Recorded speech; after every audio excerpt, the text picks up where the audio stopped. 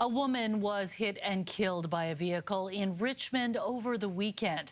The latest pedestrian fatality in that city comes as Mounties face criticism over a well-intentioned pedestrian safety video. CTV's Ben Miljure has more on the fatal crash and the online controversy.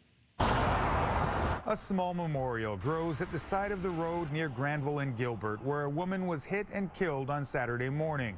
RCMP have not identified the victim and say the driver is cooperating with the investigation. Typically, the fall season uh, is the season where the most pedestrian uh, fatalities occur in Richmond. Prior to the most recent fatality, Richmond RCMP released this video showing a hooded pedestrian listening to music while crossing the street.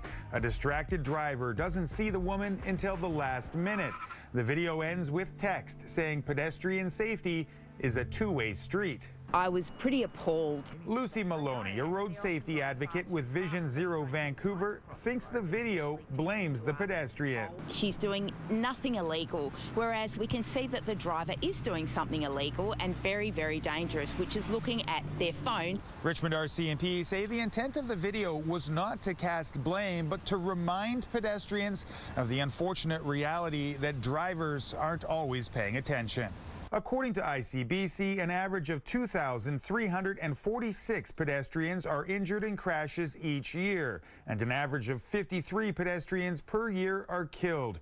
Even the premier weighed in on the video controversy. I do uh, think that the video probably missed the mark and that the pedestrians crossing in a crosswalk and, uh, and uh, following the law and the driver's looking at his cell phone and there's sort of an equivalency there in the video. Richmond RCMP have left the video up and say it has more than 5 million interactions on X, formerly known as Twitter. It shows an example of what can happen in a situation, and that situation can quickly snowball out of control. It is not laying blame on one party or the other. It's just showing a situation that can happen. A situation that turns deadly all too often at this time of year. Ben Miljure, CTV News, Richmond.